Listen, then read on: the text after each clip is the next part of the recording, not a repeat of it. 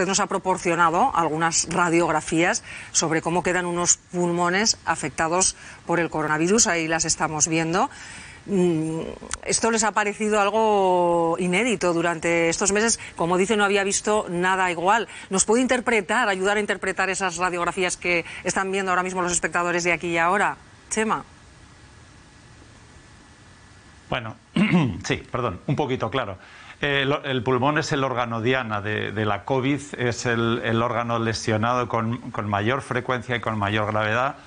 La radiología eh, es una herramienta de segundo nivel, el diagnóstico se establece por, PCR eh, fundamentalmente, pero la radiología ayuda en casos de discrepancia y ayudó cuando no, cuando no disponíamos de, de PCRs a tiempo, ¿no? cuando cuando no, era, había que decidir de inmediato. Como vemos en las radiografías, son unos, son unos cortes de escáner y unas reconstrucciones.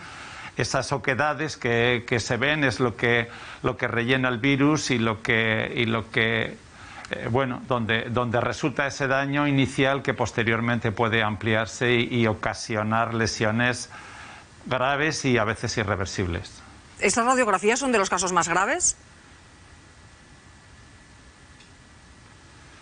Bueno, hay dos, son del viernes pasado. Eh, hay dos casos, uno es un poquito, un poquito menos grave y otro tiene una afectación mucho más importante. Habitualmente hay correlación entre las imágenes y la clínica, pero no siempre es así. Por eso han de manejarse con extremo cuidado. Una radiografía normal no excluye, o un escáner incluso, no excluye la presencia de infección activa, no excluye la COVID más allá de lo puramente médico, con radiografías como estas, imagino que están viendo lamentablemente todos los días, están haciendo todos un esfuerzo grande. En Aragón se habla incluso de esa tercera ola, imagino que están ya muy, muy cansados, es lo que están transmitiendo, y si llegara una cuarta ola, pues sería terrible. Terrible, efectivamente sería terrible. Yo quiero apoyar el llamado a la, a la población de que en general hasta mis compañeros más jóvenes más jóvenes que yo, están, estamos muy cansados en general todos y hay que intentar evitar esa cuarta ola como sea, porque bueno, vamos a estar aquí, pero vamos a intentar que que no, que no sea imprescindible nuestra presencia, que sea imprescindible para otras patologías. Está bien que lo diga usted, porque además, eh, como estamos contando, podría haberse jubilado y ahí está, eh, trabajando, mm, además, eh, pues de forma muy dura y en momentos muy duros en esta pandemia.